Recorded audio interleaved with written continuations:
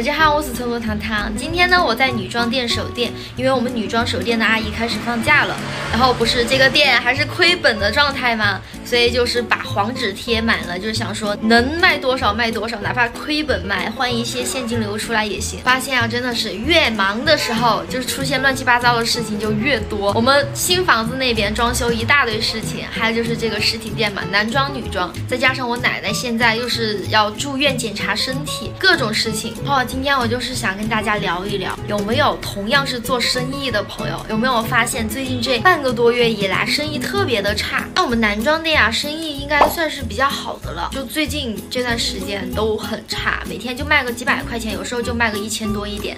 然后我也有想过，会不会是就是这段时间天气变化不稳定，大家就是对于衣服没有购买的那个需求。可是我去问一些我做餐饮、做火锅店的朋友，问他们生意怎么样，也是说这段时间生意不好。包括昨天我发快递嘛，然后和我们合作的那个快递点过来拿快递，我就问他，我说你们最近这生意好不好？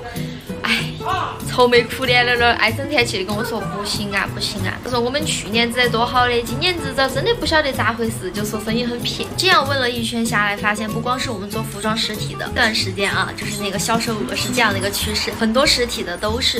然后我就在想原因会不会第一个就是本来疫情之后就是有影响嘛，第二个就是刚刚过完年，过年的时候大家把积蓄都给花了很大一部分，然后大家都觉得现在钱要省着点花，就不愿意再出来消费了。不知道是不是这个原因啊？当然，我们做服装的很大一部分原因肯定也是因为天气的原因。这段时间成都的天气就忽冷忽热的，一下子穿短袖，一下子穿羽绒服。然后我不是才全款买了房子嘛，说实话就压力还真是挺大的。再加上最近生意又不好，就心弄得特别慌，也很心累。之后也会想啊，为什么要创业呀？啊，为什么要走上这条路呀？一年多以前，大三升大四，我们是需要实习的。那个时候还有许多公司来跟我沟通实习单位的事情，选了两个比较中意的。一个是艺术学校的行政老师，然后工资没有多高，六千的底薪，然后加提成，可能一个月就是八千多的样子。还有一个是一个零食品牌的公司，让我去他们新媒体部门，然后底薪是八千，加上提成的话，可能也就一万多吧，年薪二十万应该是没有问题。是因为我毕业论文的事情，我做上了自媒体，然后就一直做到了今天，就真的是无心插柳柳成荫。你也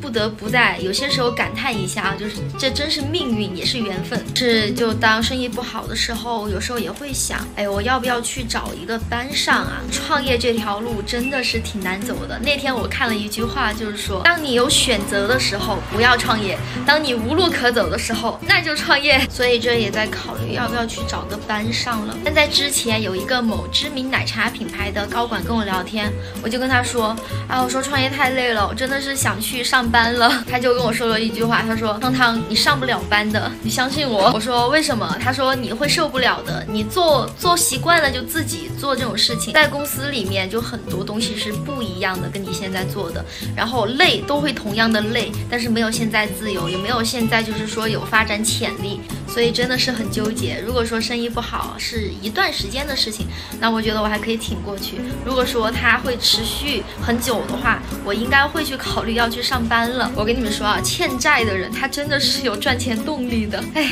不知道大家对于上班和创业这个事情怎么看呢？能不能给汤汤提提意见？真是挺迷茫的。那我们下期视频再见吧，拜拜。